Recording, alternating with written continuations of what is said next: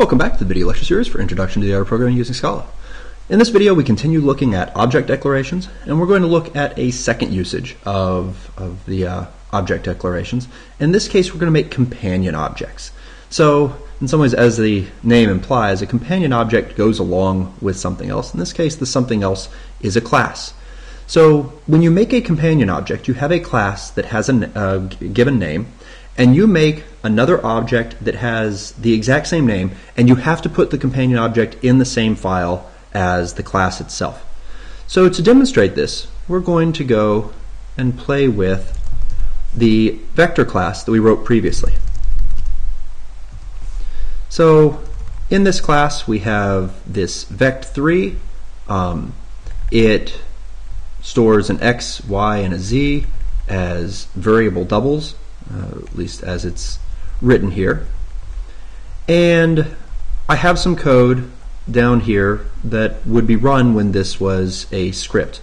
Now, one thing that's worth pointing out on this is if I try to run Scala C, so the, the compiler, on our vector, it doesn't work. Okay? And the problem here is that this code is not nested inside of anything else. And while in scripts it was perfectly valid to have top level code, when you are writing applications and you want to compile things, your code needs to be inside of structures like classes or objects. Later on, we'll see that it can be inside of traits, but you can't have just this freestanding code out here. So we have to put this inside of something. And in this case, the something I'm going to put it inside of is a companion object. So our class is called vect3. So I'm going to make an object called vect3. Okay. And just by doing that, I'm able to, uh, oops, I need some news in here. I had been playing with this and I had introduced some errors. We haven't written the code that will do that. We'll do that in just a second.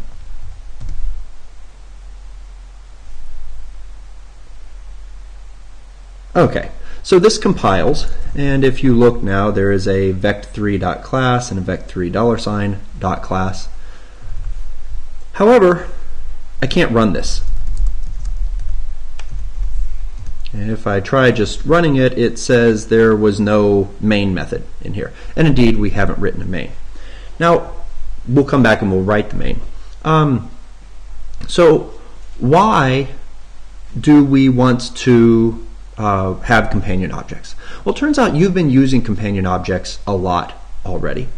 And we can demonstrate this by opening up the REPL. And probably the first place that you used a companion object, um, actually, no, technically the first place that we looked at companion objects was things like int.max value. Uh, turns out this is making a call to max value on the singleton object int, which is a companion object of the class int. Um, the place that it's more interesting and relevant to us was when we did things like this. And as you uh, are all aware, this uh, creates a new array and gives it the values 1, 2, and 3. But what is this really doing? Well, remember, we just saw in a recent video how there are some special methods inside of classes. And one of them allows you to treat an object like a function. And so we talked about the fact that when you have an object and you put parentheses after it, what's really happening is it's calling the apply method on that object.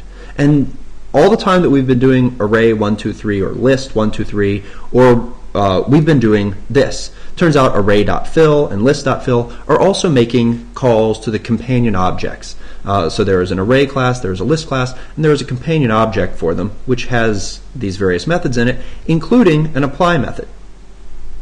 This is actually a standard idiom in Scala. Instead of making it so that we have to call new to make stuff, uh, you can put inside of there a an apply method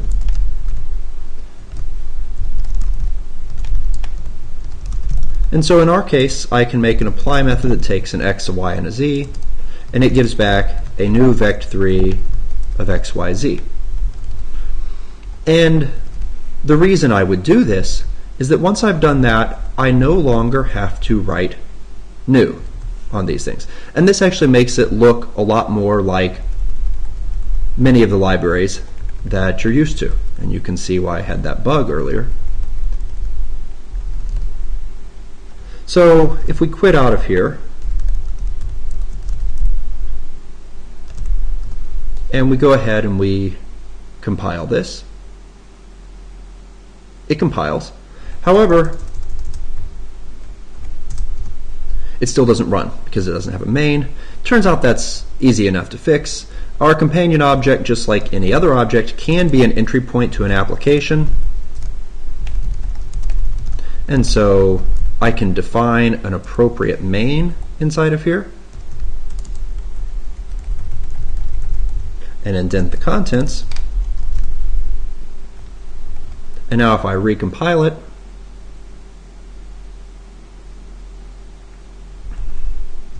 I can, whoops, run the correct name, and there we go.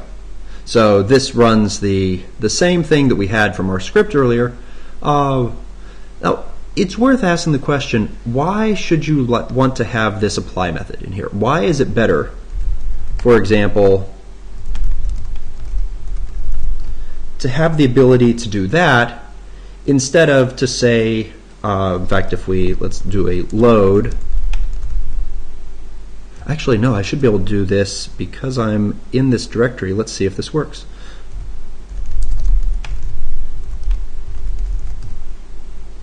Vector. Not vect, vect3. There we go. Excellent. Um, and so let's call this v v dot x, v dot y, v dot v.z. Note that this only works because I ran the REPL inside of the same directory where I had compiled this. By creating those .class files, I have access to them in the REPL and I can play around with things. So that's, that's a, a nice benefit that Scala gives you. So even when you're writing applications, you can bring up the REPL and, and play around with things. Um, okay, so, so I can instantiate this and I get back a new vect. Of course, that apply method allows me to do this instead. What's the real advantage here? Well, the real advantage to this is actually a little bit more subtle, and it's something that will make sense later on, uh, more so than it might right now. If we do things like an array, we get back an array. If I do it with a list, I get back a list. Uh, there's another type that we will learn about in more detail uh, later on called an index sequence. And turns out that an array happens to be an index sequence. Uh, but when I do this, note that the object I get back is not an index sequence. I get back a vector. We've seen vectors before when we did something like 1 to 10 dot map of underscore times 2. When we mapped on ranges, they gave us back index sequence, and in particular, the index sequence was a vector. If you say, when, when you use the form where you say new, so when I did new vect3 I am guaranteed to get back a vect3. That's the only thing that this can give back. When you say new, whatever type you put here is exactly what you're going to get back. You've lost some flexibility. When you do it this way through an apply method, though, because remember this right here, the index sequence, this is actually short for dot apply. When you call the apply method, it can actually change and decide to give you back a slightly different type. And we'll go into the rules of that when we talk about polymorphism uh, in a few chapters. But this is actually a significant increase in the, the power and the flexibility of your code.